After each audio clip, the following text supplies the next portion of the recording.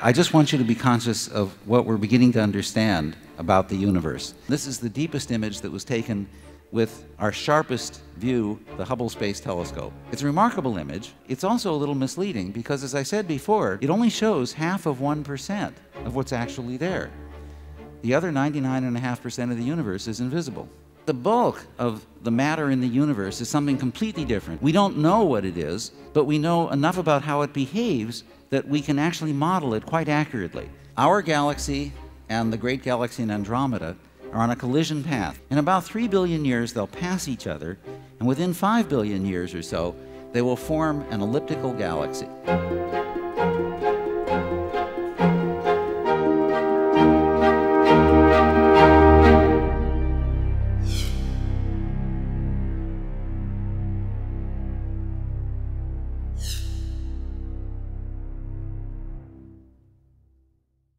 Please welcome Dr. Joel Primack.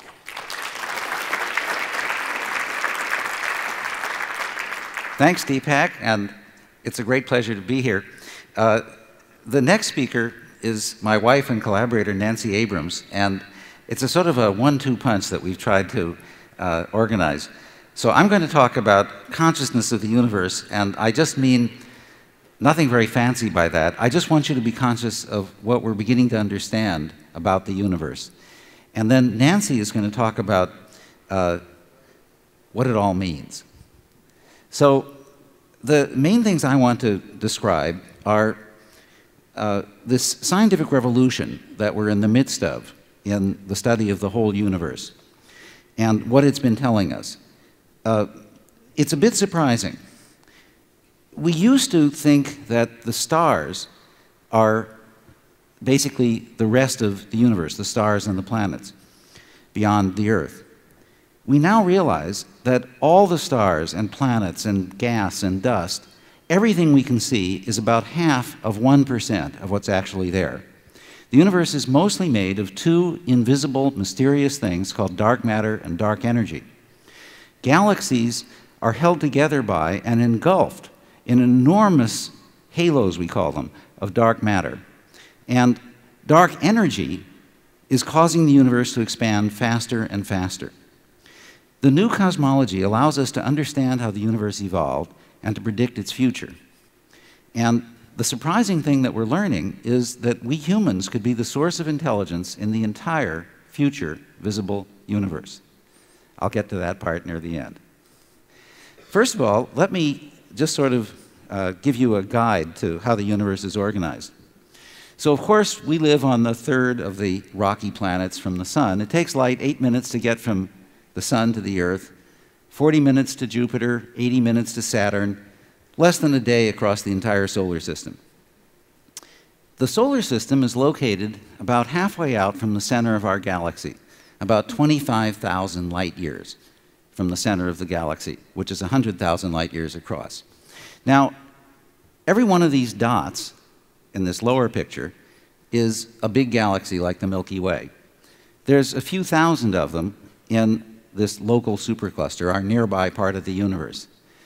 We're going to take a trip starting here in our galaxy near the Earth and going across to the Virgo cluster.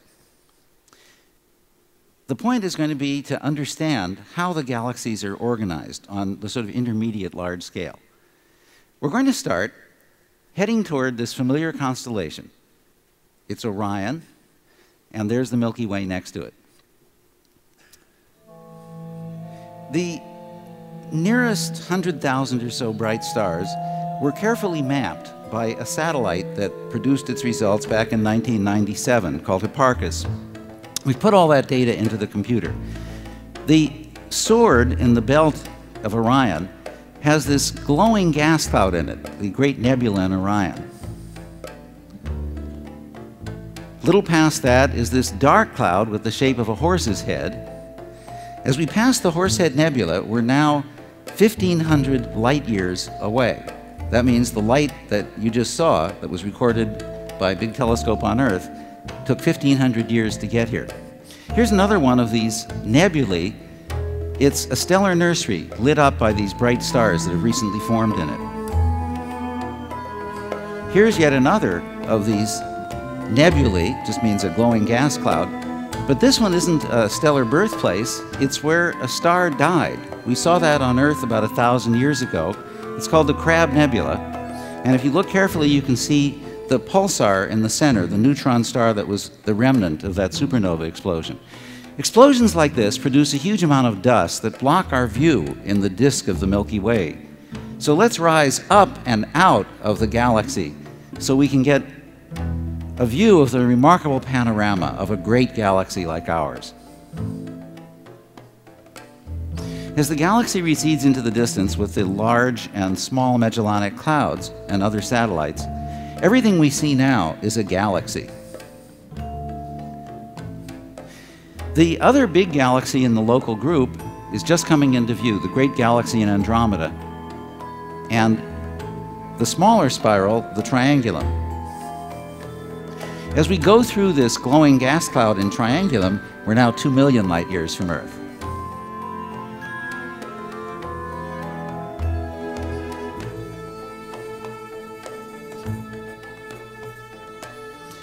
Now, we're headed to the Virgo cluster, which is just coming into view. But we're taking a scenic route past some of the prettiest nearby galaxies.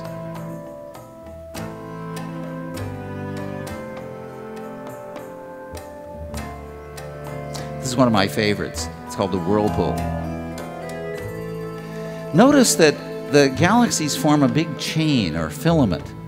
We're going to enter the filament over here, and then we're going to ride down it as we approach the Virgo cluster. Most of the galaxies we've seen so far have been spirals, big disks with a little bulge in the center. But as we approach the Virgo cluster, we're starting to see some big balls of stars, elliptical galaxies with no disk. This voyage ends at this gigantic elliptical galaxy, the biggest in the nearby universe. We call it Messier 87. It has a gigantic black hole in the center with a jet coming out of it. The black hole has a mass about 6 billion times the mass of our sun. Well, that was a short trip. The entire local supercluster is just a dot on the scale of this much larger scale image of the large scale structure of the universe. The Sloan Digital Sky Survey has now mapped over 2 million galaxies and it's a continuing project, and there are other big mapping projects that are being undertaken in the southern hemisphere, looking at a different part of the sky. Let's look at what the galaxies look like when you see them on the really large scale.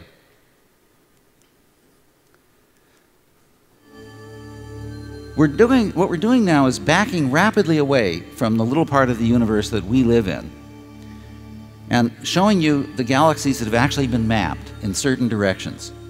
There's a lot of galaxies that were mapped in this direction, and so they look like they're piling up. But what you can start to see is that there are walls of galaxies surrounding regions with very few galaxies. There's another wall and another cosmic void. These regions with very few galaxies are called cosmic voids. Now, we've only mapped these in certain directions. And it's hard to see what's going on until we rotate the image. Then you'll be able to see how we've got slices that have been mapped. They're like slices through a sponge with lots of big holes. As we back further away, we see the very bright quasars, which can be mapped out to great distances. And now we're seeing the heat radiation of the Big Bang.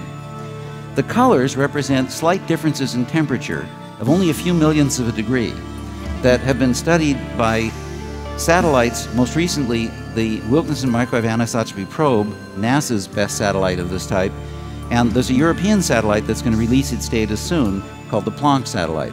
The map galaxies, the map quasars, the cosmic background radiation. And of course, we can only see this sort of an image of the entire sky from the outside with the help of these computer graphics.